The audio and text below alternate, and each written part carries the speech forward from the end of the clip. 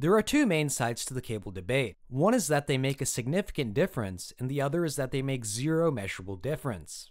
The truth is actually somewhere in between. Yet none of these videos actually explain the science behind cables, and is why people are constantly confused. This video will explain the truth and why both sides are wrong. The formula in row 4 shows how to calculate impedance in series. We are using this formula because any cable is in series. There are two variables needed to calculate impedance, resistance and reactance. In the audible band, from 20 Hz to 20 kHz, the reactance of cables are in the microohms. And if you remember from chemistry class, the prefix micro is a factor of 10 to the negative sixth. When we enter a reactance that is in the microohms, resistance in a cable is equal to the impedance in the audible band.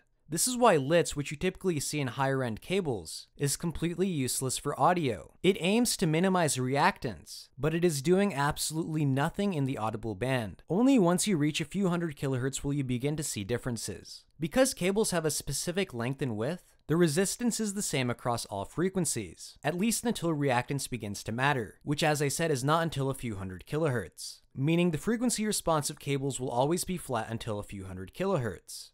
For example, let us use the Linum T2 music. We know that the length is 127 centimeters and that the impedance is 2 ohms. From this information, we can also calculate the width of the wire, assuming the connectors and solders are negligible. 127 centimeters and 2 ohms gets us a width of about 0.11 millimeters. That is extremely thin for a cable. Notice how when we increase diameter, resistance significantly drops. This is because a lower area makes it more difficult for current to flow. In the formula for resistance, resistance equals rho times length divided by area. Rho or resistivity depends on the type of conductor used, which is why this calculator allows us to choose the material. Now, for a given material with a constant length, as area increases, resistance decreases. Area is inversely proportional to resistance. Using a model Linux LinuxTernal kindly created for me to use in this video, I will demonstrate the effects cable impedance has. We are going to use an amplifier output impedance of 0.06 ohms because that is what the output impedance of my amplifier is. This is also assuming the output impedance of the amplifier is flat across all frequencies. If you would like to use the output impedance of your own amplifier, feel free to do so as I have linked this model in the description. My load impedance or the impedance of the moondrop variations at 1 kHz is 15.2 ohms. Before we determine the effect of the Linum cable, let us see what happens if we use a theoretically zero resistance cable.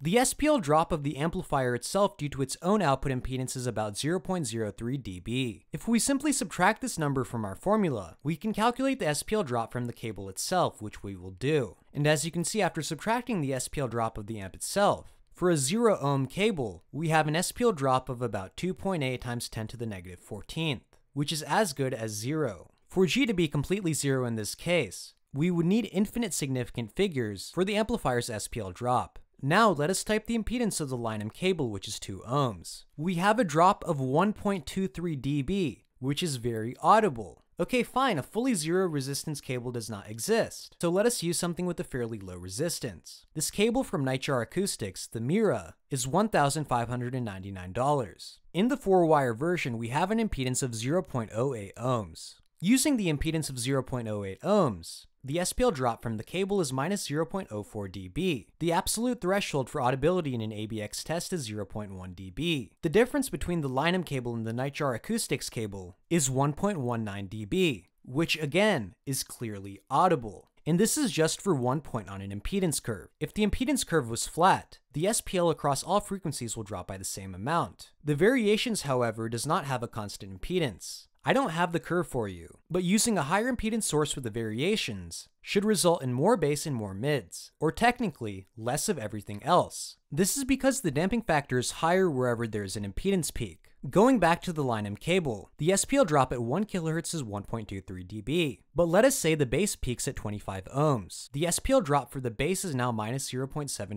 dB, meaning a change in the measured response. Back to the Nightjar Acoustics cable, the SPL drop is 0.01 dB. Since the SPL drop of the Nightjar Acoustics cable at 1 kHz was 0.046 dB, and it is 0.01 dB in the bass, the frequency response of the variations is not audibly changed. But the difference in SPL from 1 kHz to the bass is about 0.5 dB for the line cable, which is audible in ABX when volume matched a theoretical zero impedance cable. Now, do you need to buy this $1500 cable? Of course not. There are plenty of low impedance cables on the market. For a cable to be guaranteed to make an indiscernible drop in SPL versus a theoretical zero resistance cable, it would need to be 0.174 ohms, as shown by the 0.1 dB SPL drop, which is at the absolute threshold of audibility. But if we use the 25 ohm impedance for bass, the SPL drop is about 0.05 dB. Since the difference between 0.1 and 0.05 is well below the absolute audibility threshold for a change in frequency response, a higher cable resistance is needed to make the frequency response change audible, assuming it is matched at 1 kHz to a theoretical zero resistance cable. With the 0.06 ohm source, the drop in SPL from a 1 ohm cable is 0.59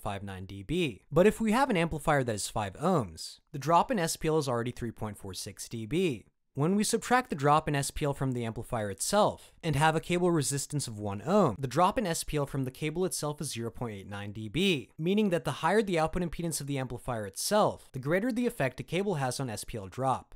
To conclude, can cables make an audible difference? If you have a low impedance load, it is fairly possible for the drop in SPL from a higher resistance cable to be audible, but a higher resistance cable is needed to detect a change in frequency response. I would like to give a shout out to Wadiaker, Grumpy Kitten, Johann Faust, Marshadow, Nell, Sasa, Kunda, Ninja Coma 3, Hemidicus Tungaritis, Senevri, and Vsauce 4. Thank you guys for supporting the channel. If you would like to support the realist audio reviewer on YouTube, consider donating through PayPal to Gani1 at gmail.com super chat donations in your comments, join the channel membership for $4.99 a month for a shout out at the end of each video, as well as a special role in the Discord server with text to speech permissions, or join the Patreon for $4.99 a month. YouTube takes a bigger cut of the $4.99 if you use the membership. As a result, using Patreon helps this channel more. If you want me to review a product, specify the product in your donation. If you would like to talk to people about anything audio related and much more without the fear of getting banned for no reason, join the Apple House Sound Discord server linked in the description. As usual, please be sure to like, subscribe, comment, and share this video with your friends. Have a nice day.